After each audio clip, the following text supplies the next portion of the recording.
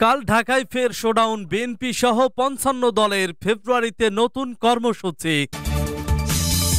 এরপর জানিয়ে দেব, সরকার পতনের মধ্য দিয়ে আন্দোলন সফল হবে বলছে ফখরুল। আরও জানিয়ে দেব, কোন দেশের বিরুদ্ধে তৈরি জোটের ব্যাপারে ঢাকাকে সতর্ক থাকতে হবে বলছে চীনের রাষ্ট্রদূত। এরপর জানিয়ে দেব, নিত্য পণ্যের দাম জনগণের বুকে পাহাড় হয়ে চেপে আছে বলছে শ্যামা ওবায়েদ। এবং জানিয়ে দেব, বিএনপি গণ অভ্যুত্থান দূরে থাক, গণ আন্দোলনের ঢেউ তুলতে পারেনি। সর্বশেষ জানিয়ে দেব, কাজী জাফরুল্লাহকে এক মঞ্চে বাহাসের আহ্বান নিক্সনের। শুনছিলেন সংবাদ শিরোনাম, এখন বিস্তারিত। তবে তার আগে অনুরোধ থাকবে, ভিডিওটিতে একটি লাইক এবং কমেন্টস করে জানিয়ে দিন, আজকের এই ভিডিও সম্পর্কে আপনার মূল্যবান মতামত। আর হ্যাঁ বন্ধুরা, অবশ্যই ঝটপট করে এই ভিডিওটি আপনার বন্ধুদের মাঝে শেয়ার করে ছড়িয়ে দিন। আর জানিয়ে দিন, আপনি কোন জেলা থেকে বা কোথা থেকে আমাদের সংবাদ শুনছেন এবং দেখছেন। কাল ঢাকায় ফের শোডাউন বিএনপি সহ পঞ্চান্ন দলের ফেব্রুয়ারিতে নতুন কর্মসূচি। রাজধানীতে আগামীকাল আবারও বড় শোডাউনের প্রস্তুতি নিচ্ছে বিএনপি সহ পঞ্চান্নটি রাজনৈতিক দল। নয়াপল্টনে দলের কেন্দ্রীয় কার্যালয়ের সামনে ঢাকা মহানগর উত্তর ও দক্ষিণ বিএনপির উদ্যোগে এ সমাবেশ হবে। দ্রব্যমূল্যের ঊর্ধ্বগতি, গ্যাস, বিদ্যুতের দাম বাড়ানোর প্রতিবাদ এবং দশ দফা দাবি আদায়ে যুগপৎ কর্মসূচির এ সমাবেশে দলটির হাইকমান্ড ব্যাপক লোক সমাগমের নির্দেশনা দিয়েছে বলে জানা গেছে। জানা গেছে সমাবেশ সফলে গত কয়েকদিন ধরে ঘরোয়া বৈঠক ছাড়াও প্রস্তুতি সভা কর্মী সভা করেছে দলটি। মহানগরের প্রত্যেক ওয়ার্ড, থানা ছাড়াও অঙ্গ সংগঠনের প্রত্যেক শাখাকে সর্বোচ্চ প্রস্তুতি নিতে বলা হয়েছে।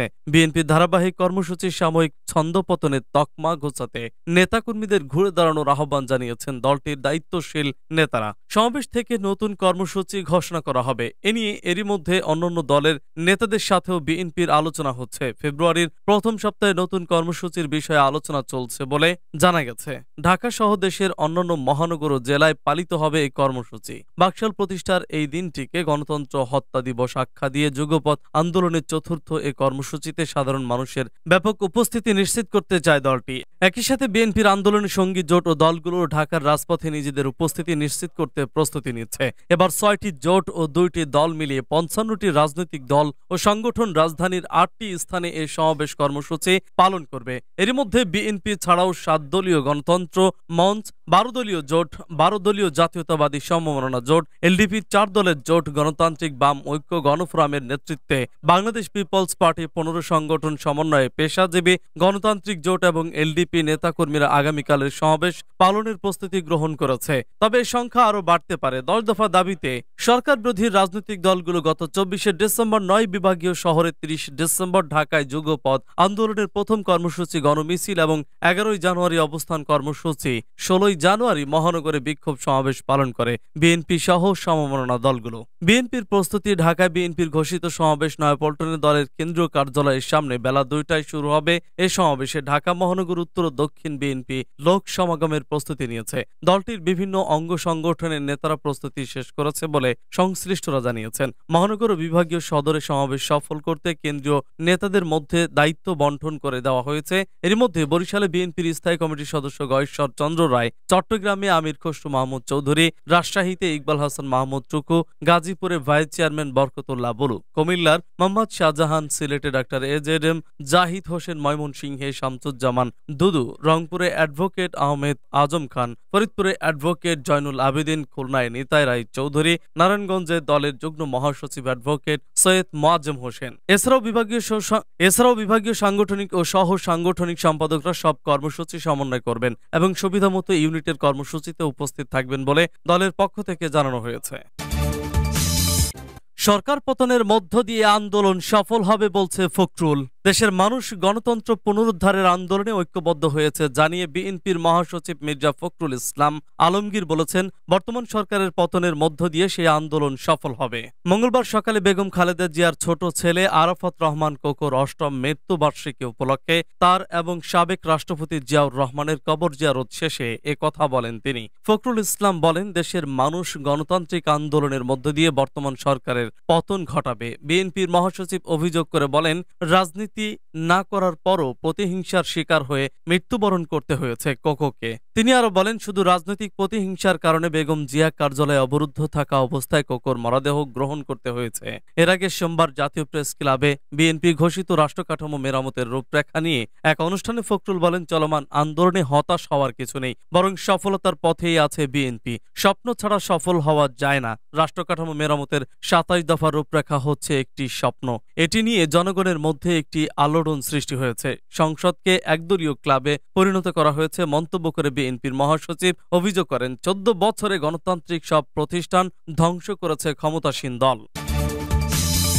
কোনো দেশের বিরুদ্ধে তৈরি জোটের ব্যাপারে ঢাকাকে সতর্ক থাকতে হবে বলছে চীনের রাষ্ট্রদূত। কোনো দেশের বিরুদ্ধে তৈরি জোটের ব্যাপারে ঢাকাকে সতর্ক থাকতে হবে বলে মন্তব্য করেছেন চীনের রাষ্ট্রদূত ইয়াও ওয়েন। সোমবার পররাষ্ট্র মন্ত্রণালয়ের পররাষ্ট্রমন্ত্রী এ কে আব্দুল মোমেনের সঙ্গে সাক্ষাৎ শেষে সাংবাদিকদের প্রশ্নের জবাবে তিনি এই মন্তব্য করেন। নিষেধাজ্ঞাপ্রাপ্ত রুশ জাহাজের চীন অভিমুখে যাত্রা নিয়ে আরেক প্রশ্নের জবাবে তিনি বলেন, গণমাধ্যমের প্রতিবেদনে এটা দেখেছি। আশা করছি এ ধরনের নিষেধাজ্ঞা সাধারণ মানুষ এবং কোনো দেশের সঙ্গে সহযোগিতাকে প্রভাবিত করবে না। একটি পক্ষ নিষেধাজ্ঞা দিয়েছে, জাতিসংঘ দেয়নি। রাষ্ট্রদূত বলেন, যুক্তরাষ্ট্র বা অন্য কোনো দেশের যে কোনো উদ্বেগ উন্মুক্ত ও অন্তর্ভুক্তিমূলক হওয়া দরকার। এটি কোনো দেশের বিরুদ্ধে হওয়া ঠিক নয়। আমাদের যে সাধারণ লক্ষ্য আছে, সেটি অর্জনে এটি সহায়ক নাকি আমাদের মধ্যে সংঘর্ষ সৃষ্টি করবে, এ বিষয়টি চিন্তা করতে হবে। তিনি বলেন, বিশ্বব্যাপী অভিন্ন উন্নয়নের জন্য সহায়ক এবং বিভাজন বা সংঘাত এড়ানোর জন্য নেওয়া যে কোনো বৈশ্বিক উদ্যোগকে চীন সমর্থন করে।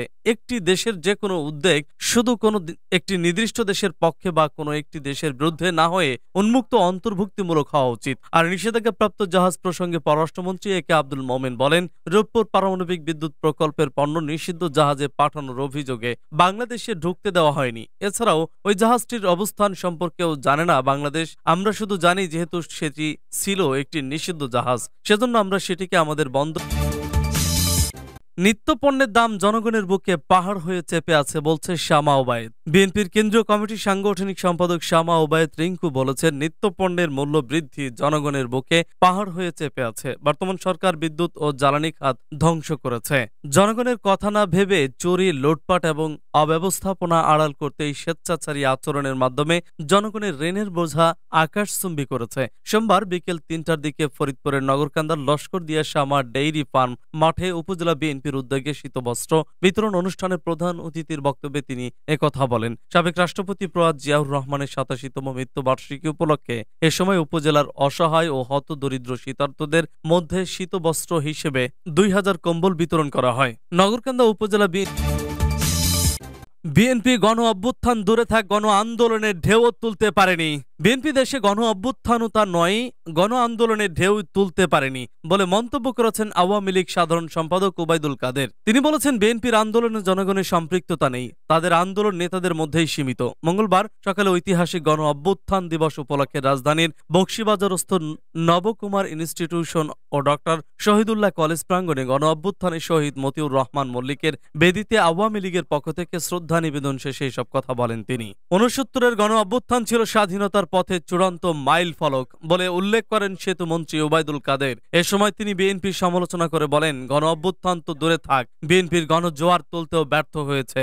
বিএনপির সাত মার্চ, সাত জুন, চোদ্দই এপ্রিল, দশ জানুয়ারি ও চব্বিশে জানুয়ারি সহ স্বাধীনতা আন্দোলন সংগ্রামের কোনো দিবস পালন করে না, মানেও না বলে মন্তব্য করেন তিনি। তিনি বলেন, একাত্তরের স্বাধীনতার ঘোষণা দেওয়ার একমাত্র বৈধ অধিকার ছিল বঙ্গবন্ধু শেখ মুজিবুর রহমানের, অন্যরা পাঠক মাত্র।